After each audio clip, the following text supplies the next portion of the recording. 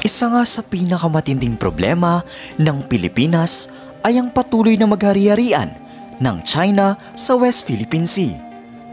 Pero kung noon ay once na niradyohan ng mga Chinese militia ang puwersa ng Pilipinas na palapit sa sinasakop nilang bahura ay bigla tayong liko ang ating siyang ginagawa. Sa ngayon ay unti-unti na tayong natututo na pumalag sapagkat hindi na nagpapatinag ang Philippine Coast Guard nung ipinahiya sila at itinaboy sa mismong West Philippine Sea. At bago natin alamin kung paano nga ba rumesbak ang Pilipinas sa China, ay huwag kalimutang mag-subscribe at i-hit ang notification bell para maging updated ka sa mga susunod na videos.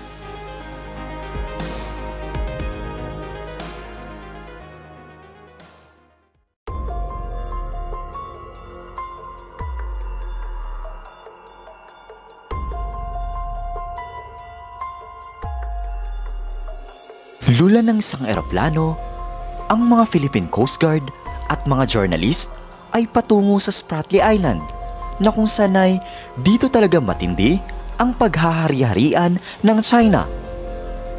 Alam mo ba na habang patungo sila sa lugar na ito, ay malayo pa lang ay umaalingaw na ang radyo mula sa isang Coast Guard vessel ng China na nagbibigay ng babala na huwag silang tumuloy sapagkat ang bahagi ng karagatan na iyon ay pagmamay-ari na raw ng China. Just imagine na lang na 1,000 meters below na distansya mula sa eroplano at barko nila ay di pumalyang China na magsalita. At narito ang eksaktong salita na nagmula sa mga Chinese militia patungo sa mga Pilipino. You have entered a Chinese reef, a constituted a security threat.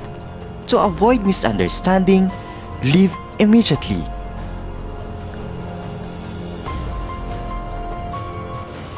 Pero alam mo ba na kung noon ay nagkukumahog na ang mga Pilipino na lumayo once na nakarinig sila ng radyo ng China?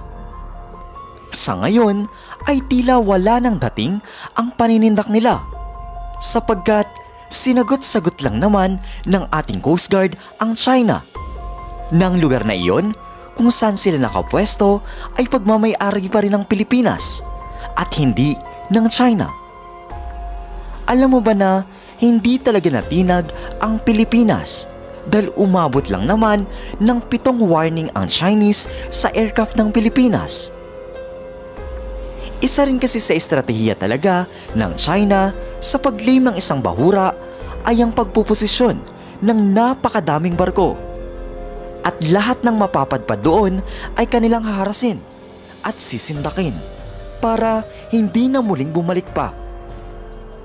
Pero sa dami ng encounter ng Pilipinas sa Chinese militia ay natuto na tayo. Sa ngayon ay wala pa talaga sigurong lakas sa loob ang Pilipinas na gamitan ng kamay na bakal ang China. Ngunit sa bagong pamumuno ngayon ay mas lalo na nilang pinagtutuunan ng pansin ang pag-expansionism ng China sa West Philippine Sea.